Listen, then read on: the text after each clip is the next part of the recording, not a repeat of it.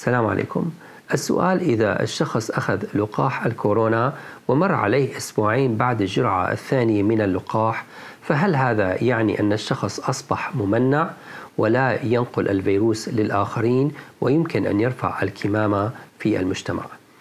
الجواب القصير على هذا السؤال هو لا. الشخص الملقح يمكن أن يصاب بالفيروس ويمكن أن يحمل الفيروس في أنفه لكن دون أن يصاب بالمرض أو يشعر بأعراض وبالتالي ما دام الفيروس يمكن أن يوجد في الأنف فعندها يمكن أن ينقل إلى الآخرين. هناك أيضا احتمال أن يصاب الشخص بالفيروس وأن يصاب بالمرض لكن غالبا تكون الإصابة خفيفة واحتمال أن تكون الإصابة شديدة هو تقريبا صفر.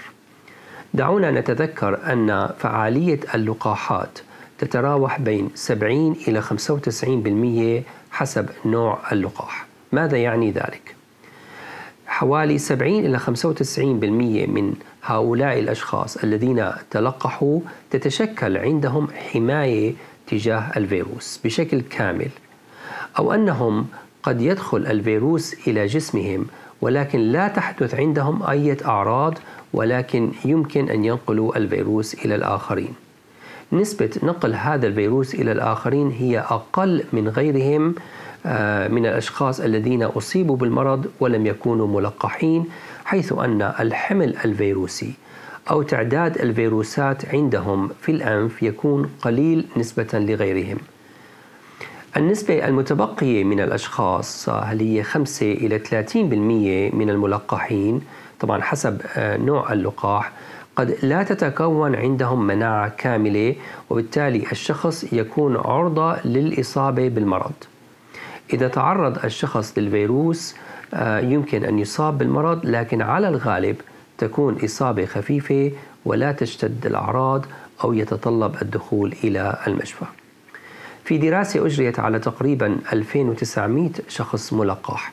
تبين أن الحمل الفيروسي في حال أو تعداد الفيروسات في حال إصابة الشخص يكون منخفض إلى ربع ما هي عليه أو ما هو عليه عند الأشخاص الآخرين غير الملقحين آه، فيما لو أصيبوا بالكورونا. حتما وجود عدد أقل من الفيروسات في الأنف يعني انتشار أقل للفيروس بين الأشخاص. كذلك من جهة أخرى الشخص الملقح يبقى عرضة للإصابة بفيروس متغير أو سلالة جديدة من الفيروسات حيث أن اللقاح لا يوفر مناعة تجاه بعض السلالات الجديدة مثل سلالة جنوب أفريقيا. من هنا ننصح بضرورة متابعة وضع الكمامة والتباعد الاجتماعي وتجنب السفر إلى مناطق معروف أن نسبة السلالة الجديدة فيها عالية مثل جنوب أفريقيا حتى ولو أخذ الشخص اللقاح. دمتم بخير والسلام عليكم.